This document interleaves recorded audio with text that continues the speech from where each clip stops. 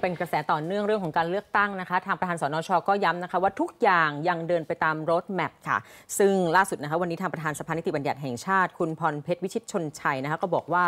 ทางฝ่ายเลขาธิการวุฒิสภาจะนำร่างพระราชบัญญัติประกอบรัฐธรรมนูญว่าด้วยการเลือกตั้งสสและการได้มาซึ่งสวมาให้ลงนามเพื่อให้ทาง กรรมกรรมการร่างรัฐธรรมนูญ และกรรมการการเลือกตั้งนะคะหลังจากที่จัดทำร่างเสร็จสมบูรณ์เรียบร้อยแล้วนะคะก็ยืนยันค่ะว่าการเดินหน้ายังเป็นไปตามกรอบเวลา แล้วก็รถแมพตามปกติไม่ได้เสียเวลานะคะ ถ้าหากหน่วยงานที่เกี่ยวข้องมีข้อโต้แย้งต้องส่งกลับมาภายใน 10 วัน